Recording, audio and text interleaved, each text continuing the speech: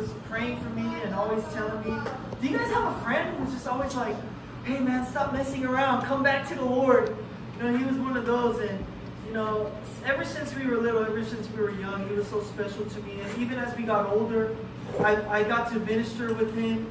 You know, at my first uh, pastorate in LA as a youth pastor, uh, when I was there, Pastor Peter was there alongside me, just showing me how to do everything, and you know, um, you know, showing me how to do ministry and be a pastor. Uh, I was very thankful for him, and taught me everything I know.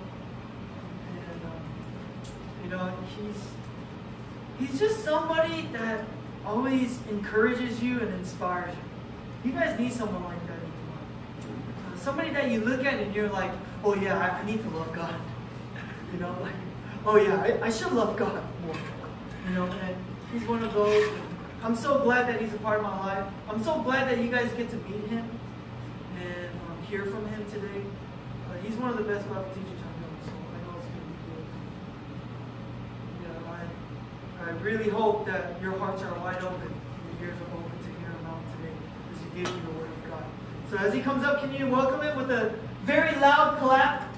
Loud applause.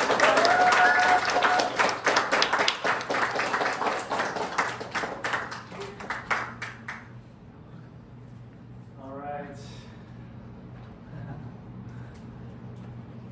Thank you for the very kind, welcoming words. If I may return.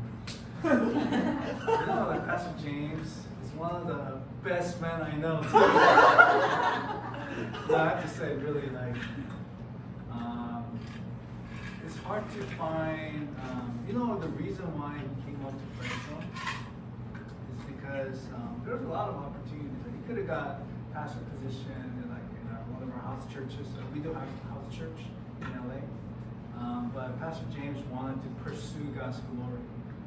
What it, what happened was that um, when he was young, uh, there was the church that he came, he kind of pretty much grew up from, uh, experienced powerful, powerful just manifest presence of God. What, the, what, what that means is like physical weight of God's presence. Like people were actually falling down and they were just wailing because they felt God's presence. Have you ever felt that?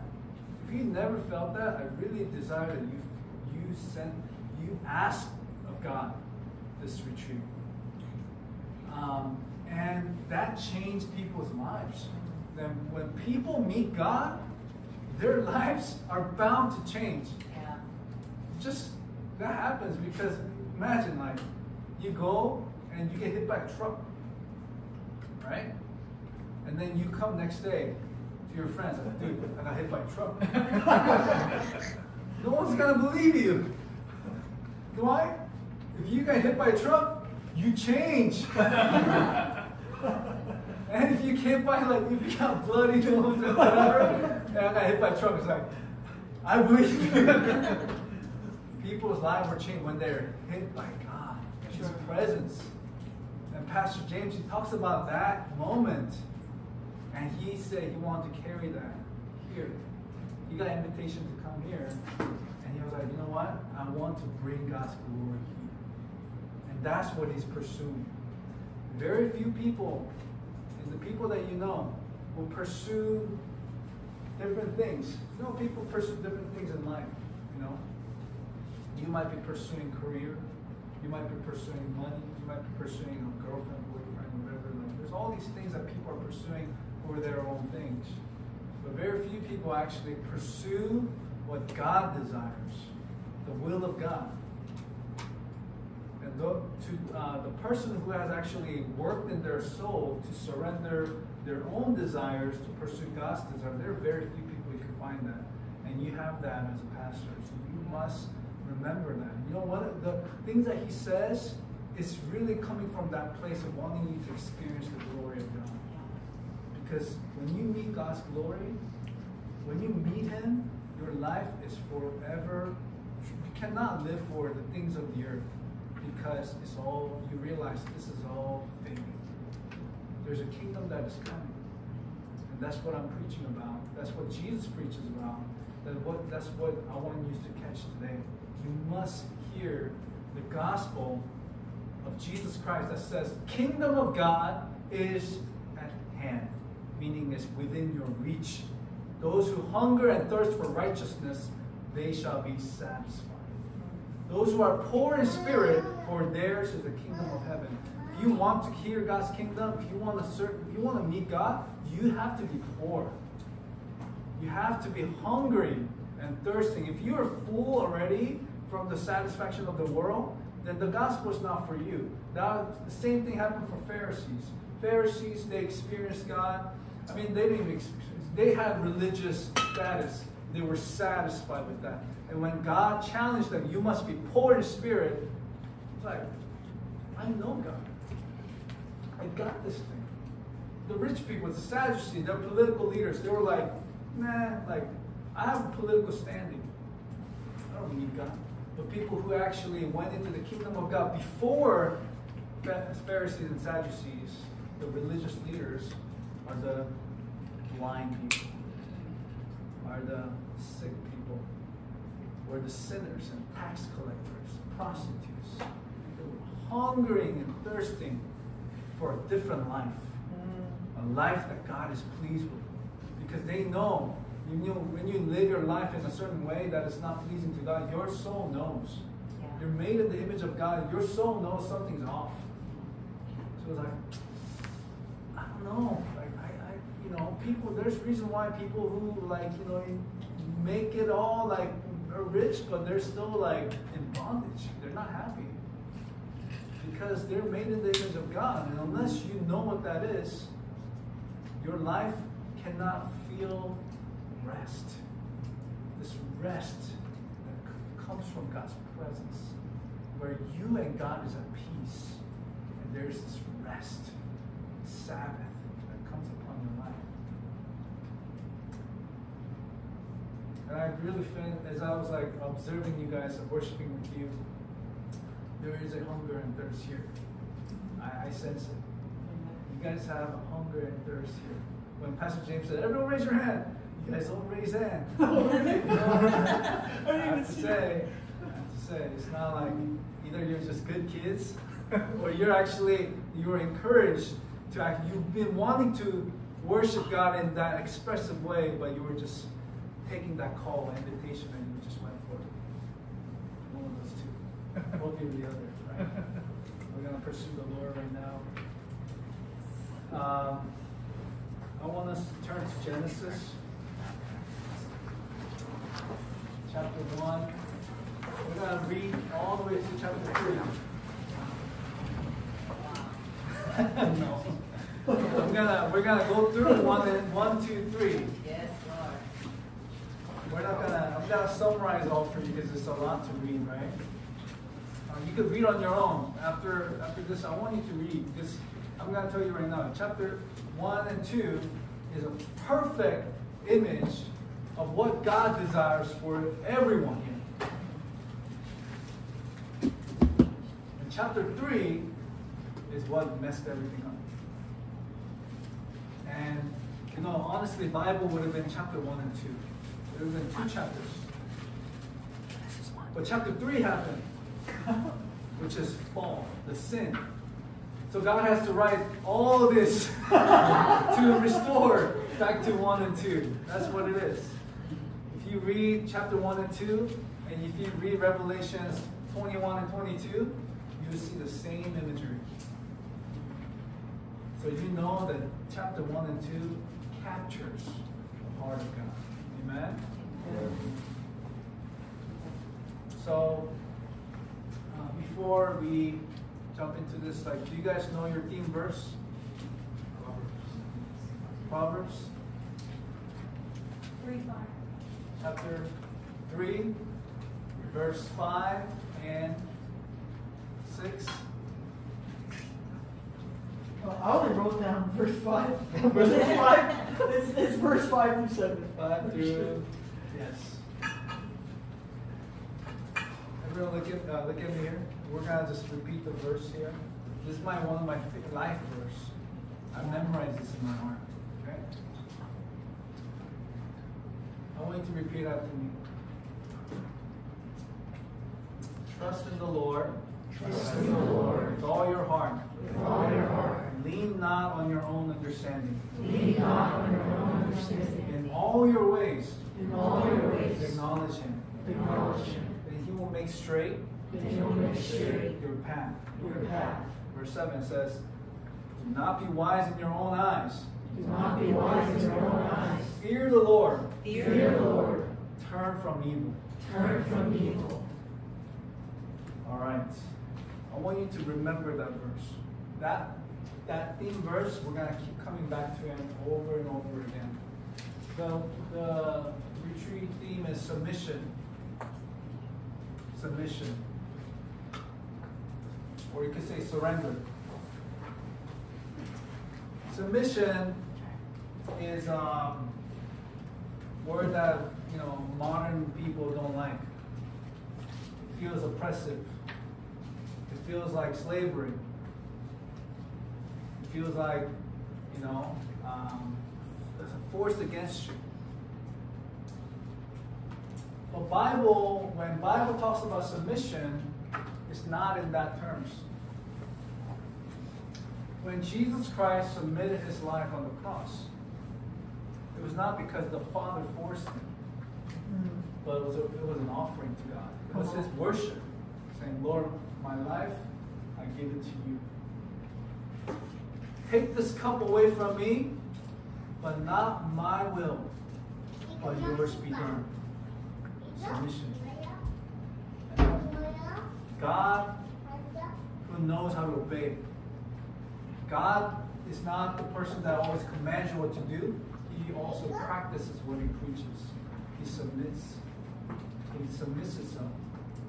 Jesus will never ask you to do stuff that he will not do for himself. You'll see that in the Bible. All throughout. Everything that Jesus calls us to do, he did it himself. Submission is a willing surrender. Submission is a willing surrender in the Bible. In the world, it's about like, you know, you, you guys watch UFC? No? Okay. Submission is that one when you like, when you put a, another person in a position that they cannot escape. It's forced upon you, right? That's the world's submission. It's called slavery, or it's called, uh, you know, uh, oppression. God is not about that. He's asking, we're waiting for your willing surrender. But what are you surrendering to? That's what we gotta watch, uh, look out for. So I have um theme throughout, and uh, I want you to kind of like just remember this. Very simple. Tonight is going to be submission to God, the Father. Okay? Tomorrow in the morning, I'm going to talk about submission to Jesus Christ. And the, the last session, it's got the submission to the Holy Spirit. Very basic, easy to remember. Uh, hope that, but then this is profound truth that you must understand that really has to, it's going to shape how you go about your life. Um, I'm going to uh, pray for us and we'll dive into the Word, okay? Holy Spirit, we desire to hear your voice. There is open heaven here, access to the throne room of God, where we get to receive grace, grace to change, grace to be transformed, grace not just to forgive our sins, but set us free so that we can become like you. Teach us. Give us this grace tonight. It's already been done in the heavens. Let it be here on earth. In Jesus' name we pray. Amen. Amen. All right. Chapter 1 verse 1. We're going to read till verse chapter no, verse 2, okay? Um, let's read all together. You guys have ESV? Okay. Why don't I read one verse and you can read the other, okay? Now, only up to chap- uh, verse 2, okay? Alright. In the beginning, God created heavens and the earth. The earth was without form and void, and darkness was over the face of the deep. The Spirit of God was hovering over the face of the waters. I'm gonna stop here. We're gonna, I'm gonna summarize the next things for you, and I'm gonna do some quiz to test your Bible knowledge. Okay? Now, you see, in the beginning, God created the heavens and the earth. The earth was without form. Everyone say without form. Without form And void. and void. It means it has no purpose. Without form, it's just stuff. You know, there's a difference between stuff and stuff with purpose. Right? I, you can just have stuff like this. This is a stuff, right? But it doesn't have any purpose. But there's a stuff like this. This is a stuff but it has purpose. It has substance. Earth in the beginning was without form when void. Void means empty. It has, you know, when you write a check, but you got no money in the bank, it comes out void. like this check means nothing. So you could be same thing with your life. Before God, you're just earth without form and void. That's how. That's what the. That's the state of cre- creation. I mean, I'm not. I'm sorry. State state of the matter. That's how things are. They're just without form and void, unless. What does it say? This and the Spirit of God was hovering over the face of the waters this word hover is not like um, do you guys know ho- what hoverboard is? You guys know? Uh, they used to be popular. then. I don't know the trend now. So. There used to be hoverboard like where you used to like ride like this. People used to like do that. God is not like hovering over the water like this, okay? That's not what this hover means. Hover in this Bible, in, in the Hebrew, is marakaf, meaning it's a it's a, a form of a bird, a mother bird, embracing, embracing this material, this matter. Meaning, what God is doing is nurturing. He's nurturing. You know, when a bird hovers over something, it's usually an egg or over the young. And the mother bird, the hen, is about to give birth to something, give life to something. It's nurturing. And this is the word that is used in the Bible. God as like a mother bird hovering, nurturing this matter, to form it and to give us meaning. And what is it? What is he filling the earth with? And what is the content that God is filling it with? That we need to pay attention. The first thing, day one, what does God create? Let there be light. Interesting. There's no sun, moon, but there's light first, right? There's a scientific reason to that. But I'm not going to get into it. But um, if you're interested in that, I want to talk to you. Um, there's there's a very interesting theory here. But God saw that the light was good. And he separated the light from darkness called night, and there was evening, and the, there was morning, the first day. And then, second day, what did God create?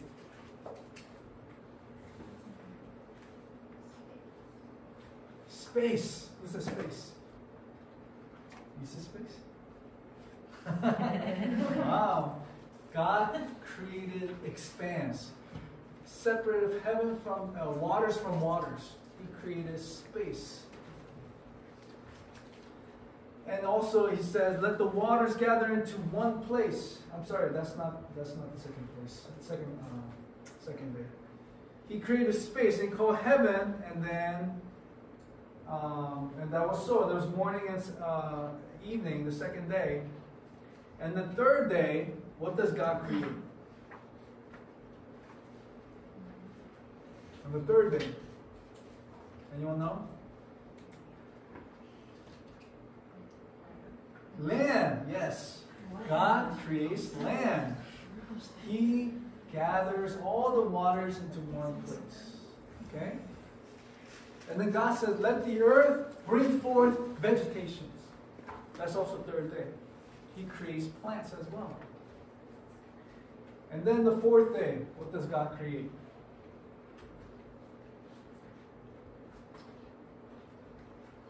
Anybody know? The fourth day, God creates sun, moon, and stars to govern the day and night and seasons. God is creating seasons. And then on the fifth day, God says, Let the heavens swarm with the living creatures. And God creates bird. And Bible says, and God says, let the waters steam, I mean, um, be filled with the living creatures. And God creates fishes and all the living creatures in the ocean. The fifth day. And then on the sixth day, what does God create? There's multiple things.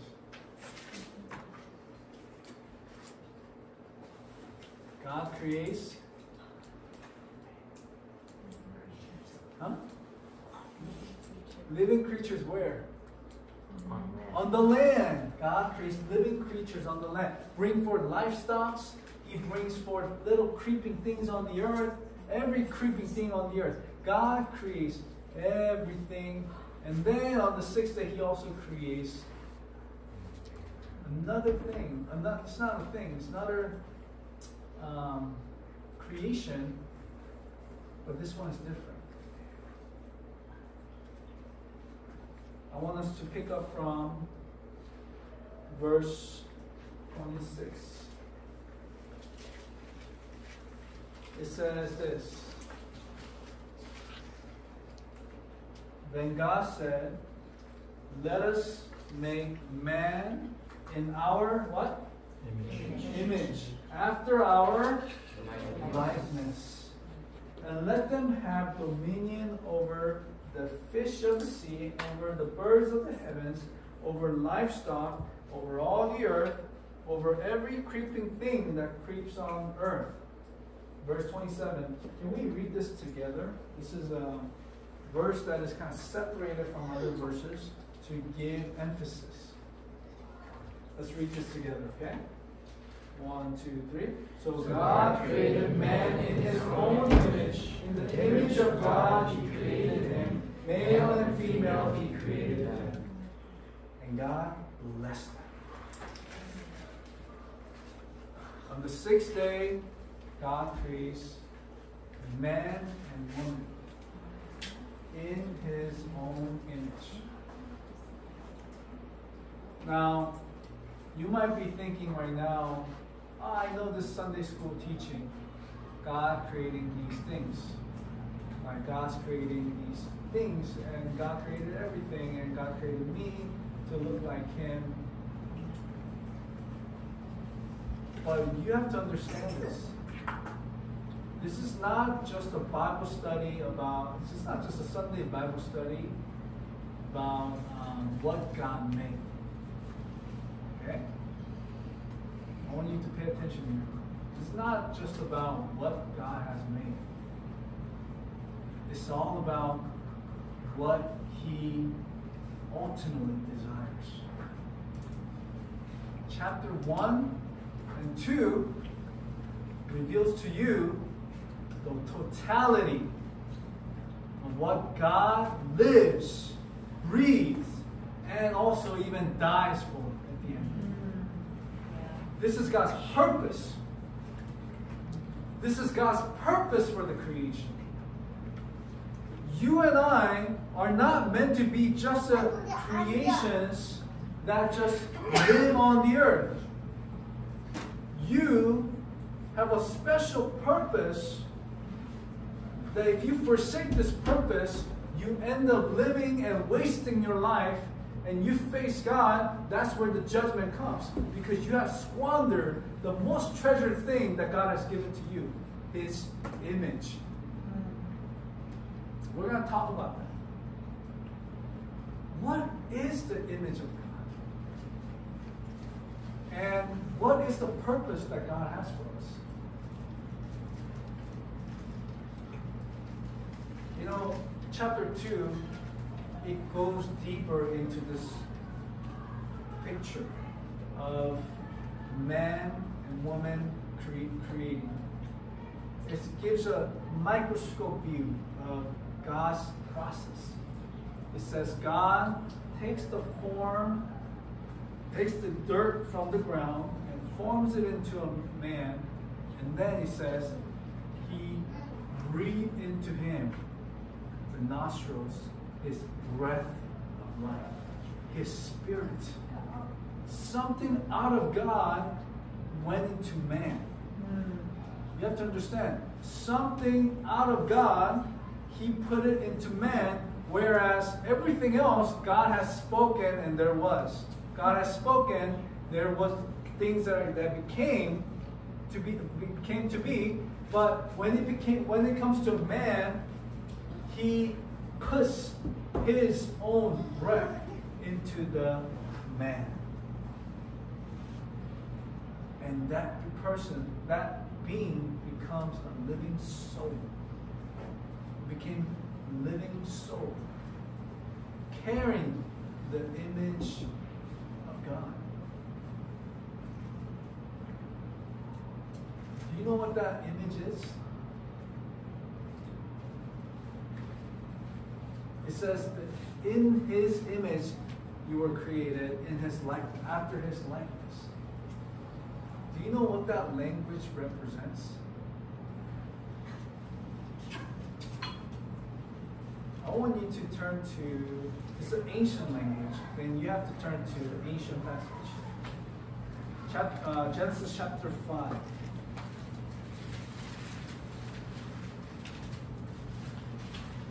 Genesis chapter 5, verse 1. talks about genealogy of descendants.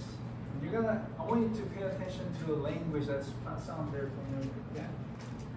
Verse 1, it says, This is the book of generations of Adam. When God created man, he made him in the likeness of God. Male and female, he created them and blessed them and named them man when they were created. When Adam had lived 130 years, he fathered a son in his own likeness after his image and named him Seth. What do you notice here?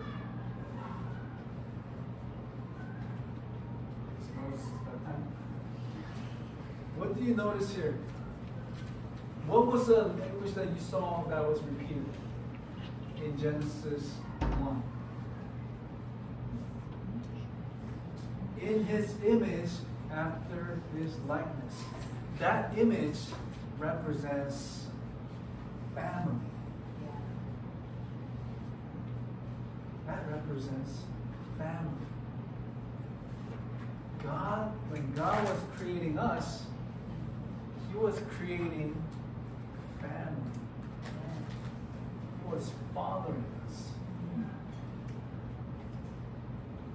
us. Was wanting to create sons and daughters who would carry His likeness, His image, His will, and His purpose.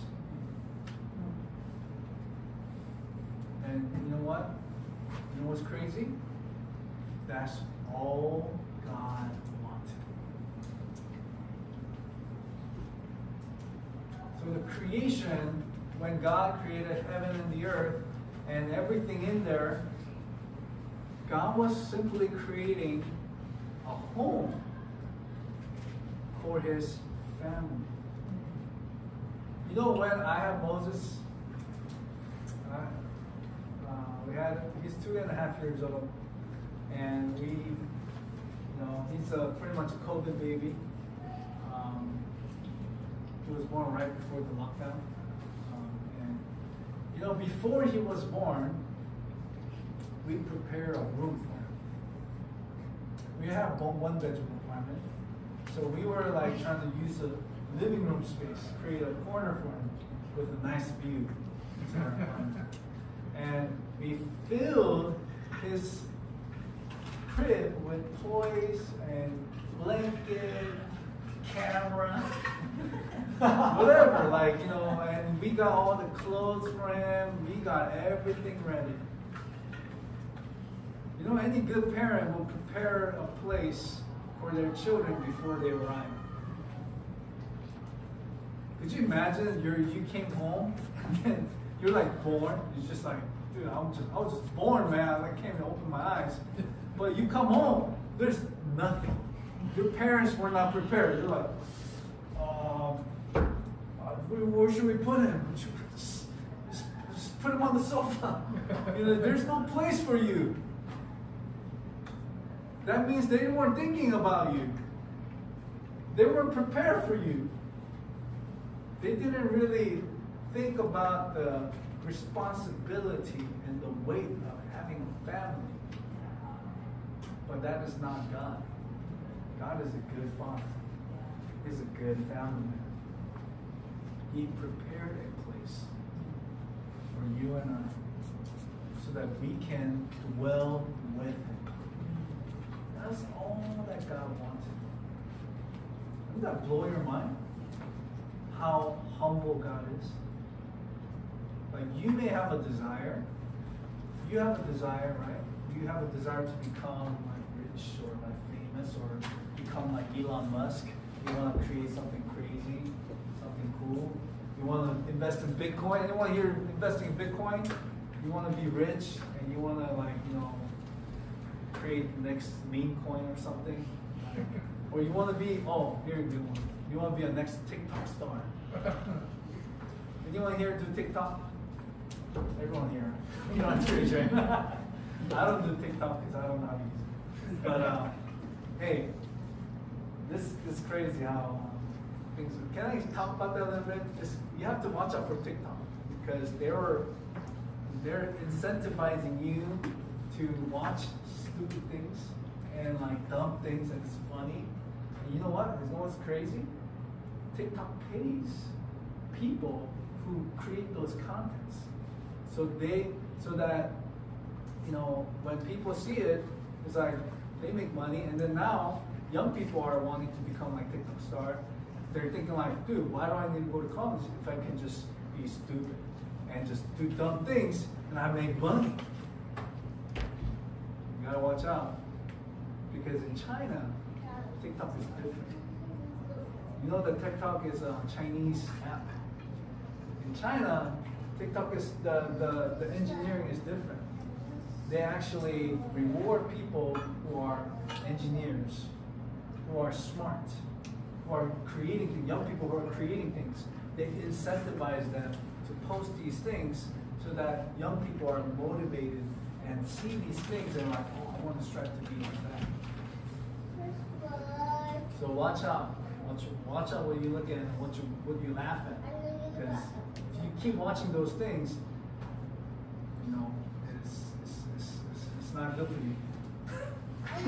Going back to the Bible, you're not meant to be a TikTok star. You're not meant to be. We have all these different desires. But God has a desire that He's willing to die for, that He sent His Son for, that He was willing to carry the cross for, and He was willing to resurrect and restore all things. He promised that I'm going to restore all things to you again. And what is that? God wants home, this earth to be a place like where rest is. Like God's Sabbath. On the seventh day, God created rest. And He created people who are called to be family to God. That's what God wants. God is not motivated to make a name for himself. He didn't create the earth to live because he felt lonely. He created the earth and you and I so that he can share, he can give his breath to you and he can give his purpose to you. He can give his life and share his life with you. God is motivated by love. He's not motivated by self actualization or self self promotion or self gratification. God is motivated by love, which is selfless and giving. That was the whole purpose of why God created the earth, is so that you can share in His love and His, in His goodness. That's right.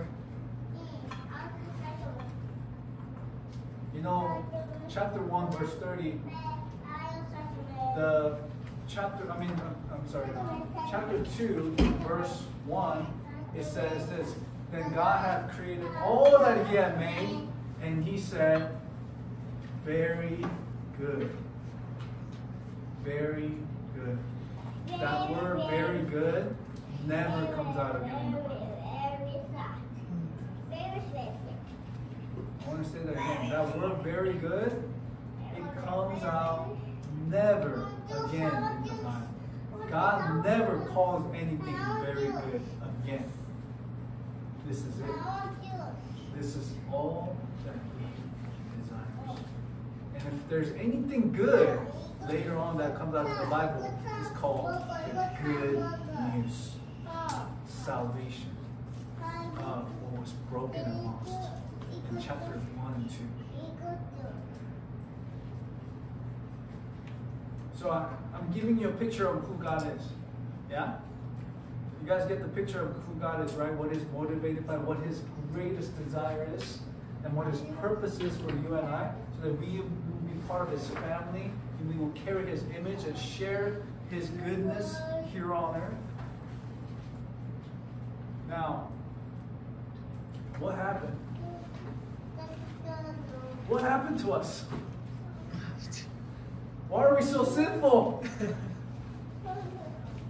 Why are you so lustful? Why are you? Why are people warring and killing each other here? What happened? Are we like the?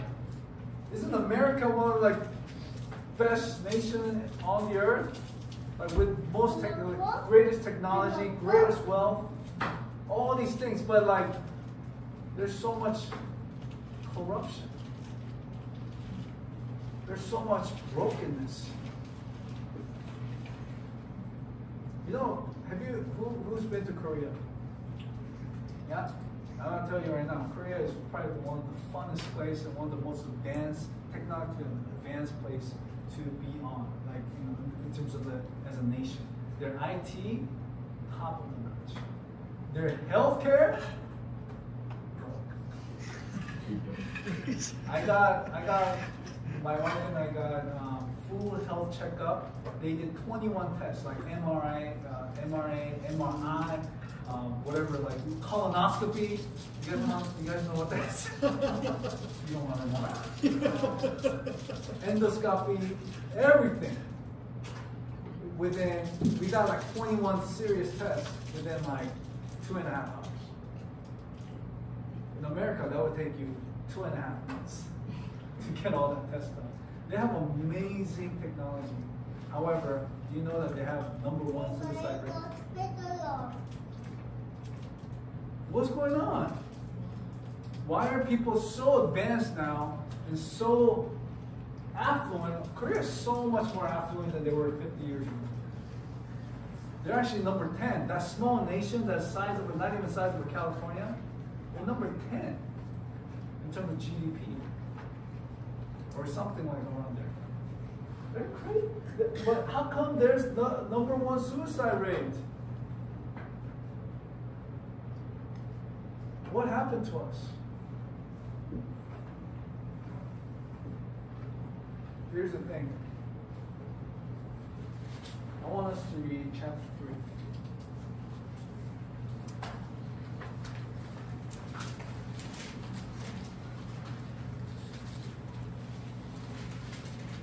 Chapter 3, verse 1 says this. Now the serpent was more crafty than any other beast of the field that the Lord God had made. He said to the woman, Did God actually say, You shall not eat of any tree in the garden? And the woman said to the serpent, We may eat of fruit of the tree in the garden, but God said, You shall not eat of the tree of the tree that is in the midst of the garden, neither shall you touch it, lest you die. But the serpent said to the woman, You, you will not surely die, for God knows that when you eat of it, your eyes will be opened, and you will be like God, knowing good and evil. So when, here, pay attention here. So when woman saw that the tree was good for food, that it was the delight to the where? Eyes.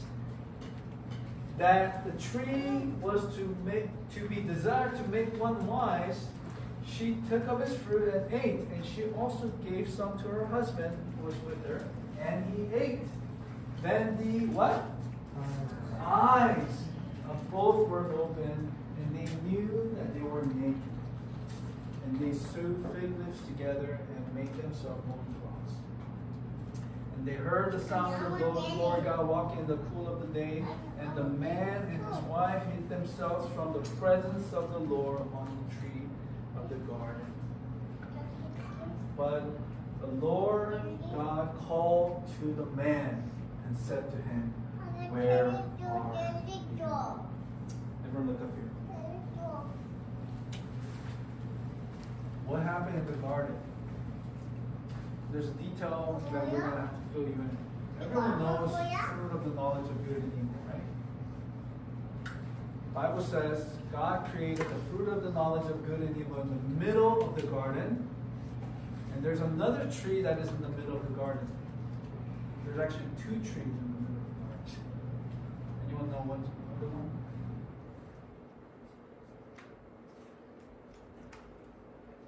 Tree of life. Uh-huh. Tree of life. There's two trees in the garden. In the middle of the garden. God said, Don't eat of the knowledge of good and evil. When you eat of it, you shall die. Serpent comes and says, challenges your knowledge of the Word of God. But did God really say that you shouldn't eat of the tree in the middle of the garden? And if you do, you're going to die? And the woman says, The Lord God has said, You shall not eat of the tree that is in, she says, it's in the middle of the garden. But that's not what God said. Do not eat of the knowledge of good and evil, the fruit of the knowledge of good and evil. So she doesn't know exactly the instructions. And then she said, Lest you shouldn't even touch it so you die. But that's not what God said. God said, Do not eat of it lest you die. So she's a little bit unsure. I remember there's a tree in the middle of the garden, and I think you're not supposed to touch it either. And the devil sees his opening. Ah, you don't know the Word of God. It challenges you, lies to you. No, you could eat it. You could eat it, and if you eat it, the reason why God's telling you not to eat it is because you're going to be like Him. He's holding something back from you. He's take he's he doesn't have a good intention for you. He actually wants to keep you down here. But why stay down here when you eat of it? You can be up here with him. You can be like him. And then the woman was, hmm, it's not a bad idea. So, wanting to become wise, wanting to be like God, she took up the fruit and gave some to her husband, who was with her right next to her. You gotta understand, you can't blame the woman because the man was right next to her. Yeah. Amen. the man was right next to him, so passive, just watching. like, that's not what he said. What he said. He heard it. It was his responsibility to tell it to his wife. But he didn't do anything. Men who are passive, you gotta watch out. Don't be passive. You gotta you gotta be a warrior spirit. You gotta like fight against the devil because the devil's coming after you. If you just stand, then you being passive can fall into sin too. You have to know that. But here, here's the thing: like if you don't know the word of God, God, the enemy can just lie to you. Anything, anything goes. If you don't know the word of God, if you don't read your Bible, the enemy can put his thoughts, good ideas in you, but that leads you to death. Proverbs it says that there's a way that leads that seems right to a man, but that leads to death. Proverbs chapter 14, verse something. There's a way that seems right to man that leads to death. So what happened in the Bible? What happened to the in the garden? Man and women, they didn't want God. They didn't want his purpose. They wanted to create a life for themselves. They wanted to be God themselves. Why do you why would you need God if you can be God yourself? Why do you need to listen to his instruction if you can just have choice of your own?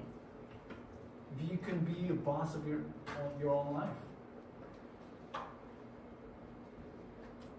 So wanting she says the eyes, the desire to be wise. It seemed good, delight to the eyes, and desire to make one wise, and she took of it, and her eyes were open. And what she saw was not godlikeness of herself, but was her nakedness. It was her vulnerability now, lack, brokenness. And here's the thing they were always naked. They were always naked. But what happened is that when you sin against God, the glory of God leaves you. Actually, you leave the glory of God. Mhm. God wants to be with you. But you choose to step, o- step away from God's presence. As soon as you step away from God's presence, you feel insecure. You feel afraid. You feel like you need to hide. You can't be honest. You can't be truthful. You can't be just you because you feel there's nakedness, there's lack, there's vulnerability. So what do they do? They hide behind trees. They hide behind creation. They use creation to make up what was lost. Mm, You see that? mm. People use creation. Cotton. Cover up the nakedness. If I was naked, I would be so insecure. It would be actually very inappropriate. the nakedness, it comes from God not being with you. You not wanting Him. That's called sin. Sin is you you saying to God, I don't need you. That's all it is. Hmm. Sin, the word sin in the Bible, it means missing the mark. You missed it. It's like you have a target practice, right? You shoot an arrow, there's a target, you're supposed to hit that target. That's called score. I don't know. Bullseye, right? But if you miss it, if you hit somewhere else, that's called sin. You missed it. We missed. When you sin, you are missing God's purpose for your life. You missed it. God wanted home and family with you, but you missed it. You wanted something for yourself. You wanted to create a life of your own. You want to be God yourself. You don't need a father. I can teach myself. So this is why chapter 3, verse 5, uh, Proverbs chapter 3, verse 5 through 7 is very important.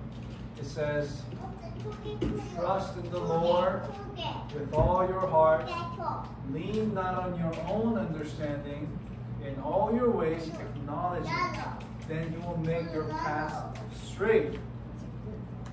Do not be, the opposite of all that is, do not be wise in your own eyes. Fear the Lord, turn from evil.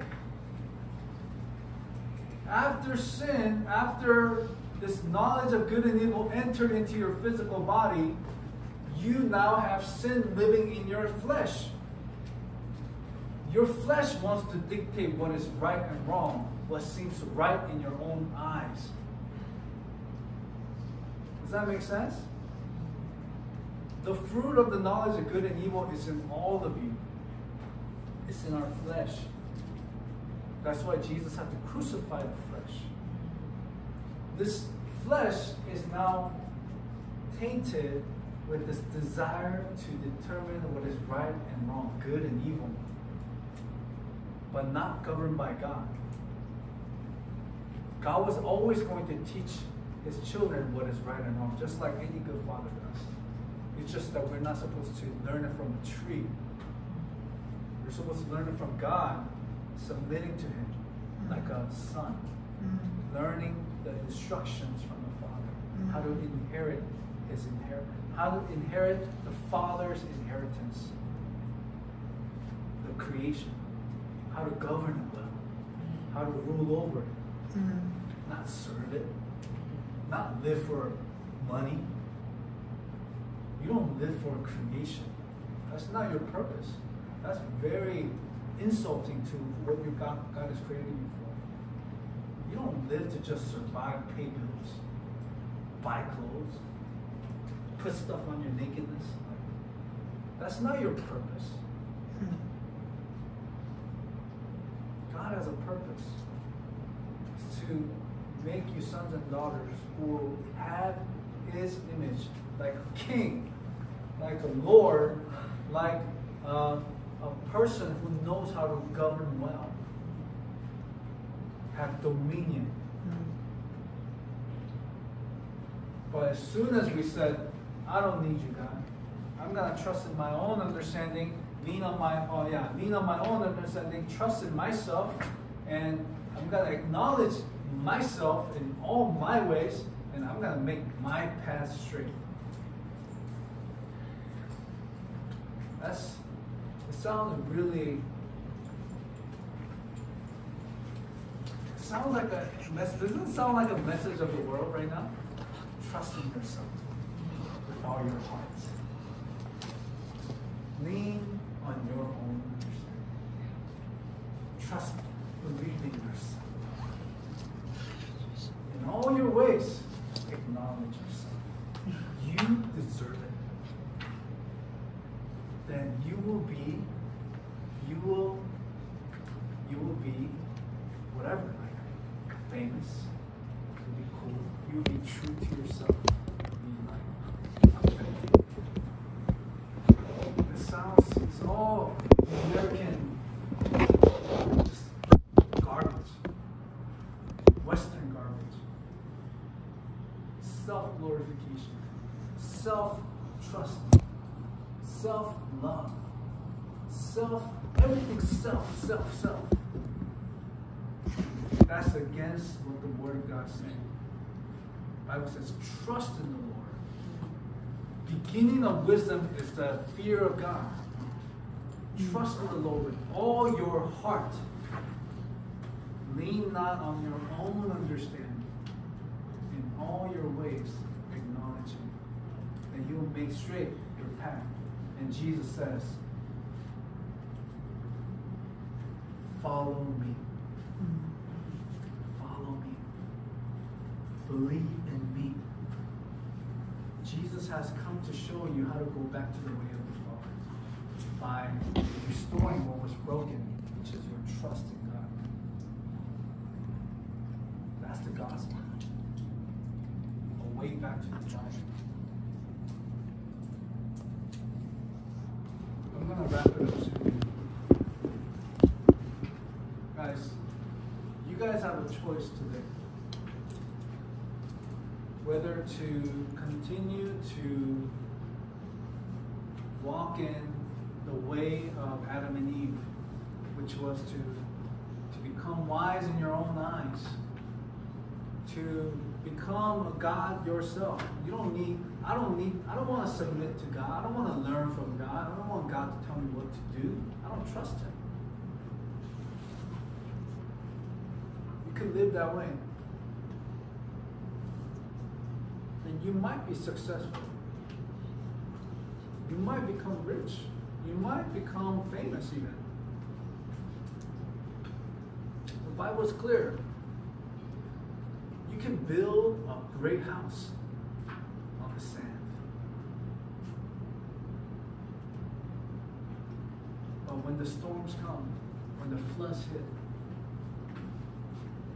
the house collapsed. Great was the disaster. That's the parable of uh, Jesus. But those who hear my words and put them into practice, they're like a uh, they're like a person who built their house upon a rock. There's a flood that came, and then there's a storm that came, but the house stood.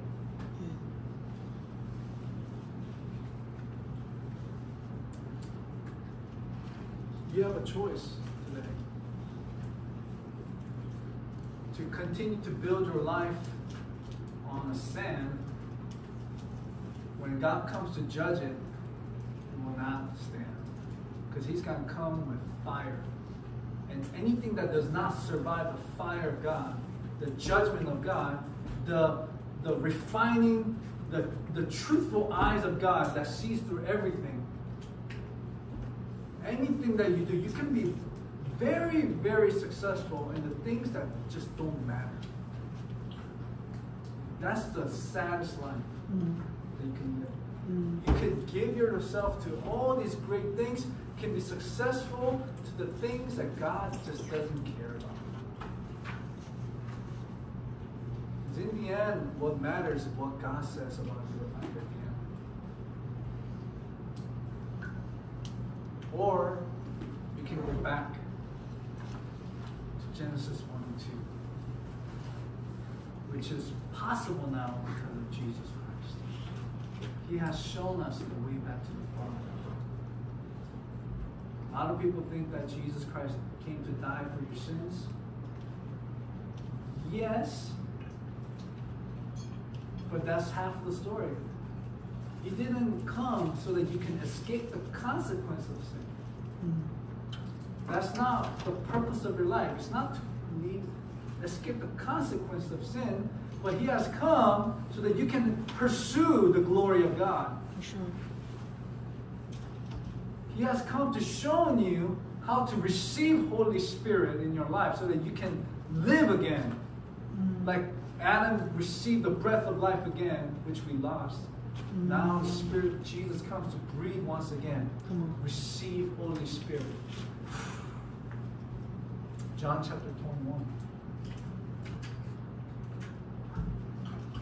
So that you can truly live as a father has purposed you to live, to carry his image and his likeness, to rule like Jesus Christ, and to be an heir with him. We're going to talk about that tomorrow. But first, you got to make a choice. Are you gonna still? Are you gonna keep living your life in your own ways and becoming your own God, or are you willing to now go back to God the Father and say, Lord, I need you. Mm-hmm. I need you to teach me how to live like you. I repent of my ways. I want Jesus. I want the ways of God. I want God. I want Holy Spirit in my life to lead me, not my wisdom or what seems right to my eyes. Because there's, there's a way that seems right to a man but leads to death. But the only way that leads to life, Jesus says, I am the way, truth, and the life. No one comes to the Father except through me. Amen? Amen. I want us to pray right now. And I want us to respond to this message, call of God here. And I really believe that there's some people here that are hunger and thirst for righteousness, which is the right things, the things that God said, that God sees it as right. God sees it as good, which is His purpose, His desire. Those who hunger and thirst for righteousness shall be satisfied.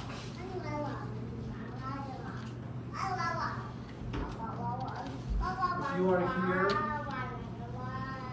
to say, God, I want to follow you, but I don't know how. So, God, I enroll myself to the school of Jesus Christ. Teach me your. I no longer want to live according to my wisdom, but from the conviction and instruction that comes from the Holy Spirit and the Bible. I don't want to live trying to gratify my own self, but I want to live to glorify God. Meaning, I want to make, I want to, I want to just receive, I want to embody God and who He is. Yes, God. You know, glorifying God is not like like all spiritual and stuff. It's like a very simple concept. When my son Moses listens to my instructions and walks with me and he listens to what is good and what is truth, what is honorable in my in our family, and he embodies that. He's glorifying our family, what we stand for, what we are about. He's embodying the principles of the Father. That's what glorifying God is, is you becoming like God. Wanting to become, wanting to receive and to, to be taught the ways of God. To have the image of God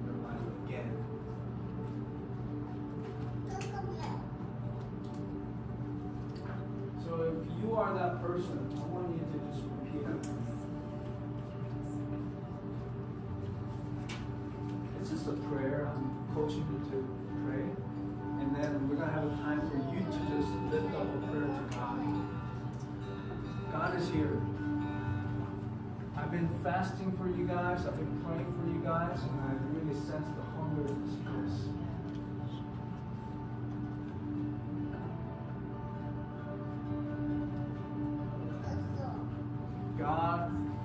God, this time is so serious. This time is what He lives and breathes and dies for to bring His sons and daughters back to His glory, back to His home. This, He gives His life for this. This time is very precious. Don't take it lightly, please. If you're that person that wants to be discipled by God, and say, I want to follow Jesus, not my ways. I don't know what I'm doing with my life. I want to know the glory of God. I want to follow the ways of Jesus Christ. I want you to repeat after me. Jesus, Jesus, I want to follow you. I want to follow you. I repent of my ways. I repent of my ways. I repent of my pride. I repent of my pride. I repent of my sins. I repent of my sins. I repent of my unforgiveness. I repent of my unforgiveness. the ways that made you sad. All the ways that made you sad. But I want to follow you now. But I want to follow you I want to walk with you. I want to walk with you. I want your Holy Spirit I want your Holy Spirit to live in me, to live in me, to teach me, to teach me, to fill me, to fill me, to become like you. to become like you. Teach me your way. Teach me your way. Can you all rise? And I want us to just just worship God. About um, person next to you. You, it's, it's about you. You responding to God. You're not going to be accountable for your brother's life or your sister's life, how they live. You're accountable for your own life. So there's no need to, there's no time to worry about other people. It's just right now we gotta deal with our life with, with the Lord.